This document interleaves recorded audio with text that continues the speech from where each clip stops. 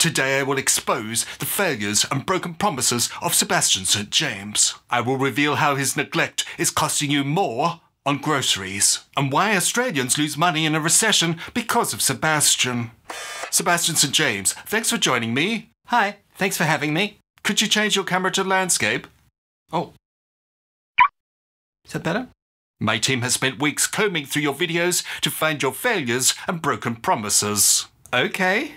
Sebastian, you are costing Australians thousands on their groceries because you refuse to help. Hang on, I don't know anything about this. I know, but you will. Here's some footage we found. If you're working from home, you will be spending more on groceries. However, I have a video coming up soon which will tell you how to save money on groceries. So make sure you're subscribed for that.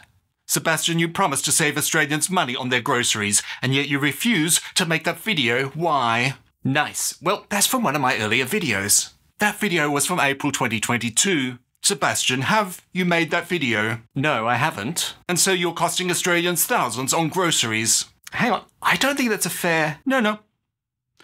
That wasn't a question. Oh, I just got a thanks from Stephen Howard via PayID. He says, great content. Excuse me, what are you doing?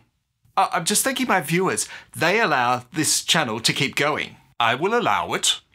Thank you very much, Stephen. And his thanks pushes his questions further up the queue. Nice. In April 2022, you said, I will do another video on superannuation specifically, so subscribe to my channel now so you don't miss out on that video. Sebastian, where is that video? That I'm taking to the next level. I'm currently doing an entire series on superannuation. I see. I must admit I have been enjoying them. I'm looking forward to SAPTO Part 2. Sebastian, isn't it true that recessions in Australia are your fault? So, what should we do when the recession actually hits? In fact, if it hits, I've got a video coming up about that shortly, so make sure you're subscribed so you don't miss out. Sebastian, where is that video? I thought it would make more sense to wait until Australia's actually in a recession to make that video.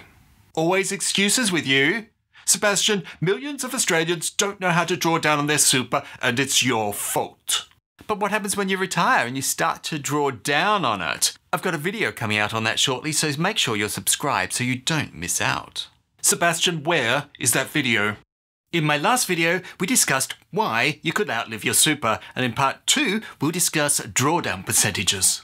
Well, I shall look forward to that.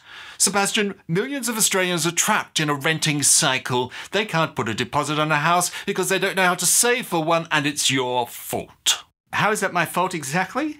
Coming up soon, I'll have a video about how to save for a deposit, so make sure you subscribe so you don't miss out. Sebastian, why have you failed Australia? I don't think I have. There are Australians who specifically subscribe to your channel because they wanted answers. They're crying out for help. Sebastian, how can you fix this? Okay, I will make a brand new series. I'll carefully go back through all my old videos and anywhere where I've said subscribe because there's this new video coming out, if I haven't done that, I will make that video for you, every last one of them. Well, that sounds promising, but when will this be? We're currently doing a series on superannuation, which I'm very much enjoying. Once I've finished that, which will be sometime early next year, then I will start this series and clean up all the old videos which I haven't done and make them for you. Good, I'm sure that will solve all of our problems. Do you want to say anything to your viewers? Yes.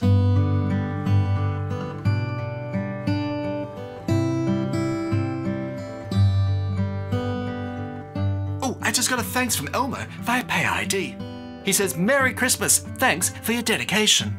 Thank you very much, Elmo. That was a lovely, unexpected surprise, and I hope that you have a lovely Christmas as well. I still have some more people to thank, and that I will do in my next video. And to all my viewers out there, you have a lovely Christmas and a holiday period, and I will see you next year. Well, that was nice. Thank you, Sebastian, for agreeing to this interview. I know you weren't expecting these accusations. Can I send you a Facebook friend request? No.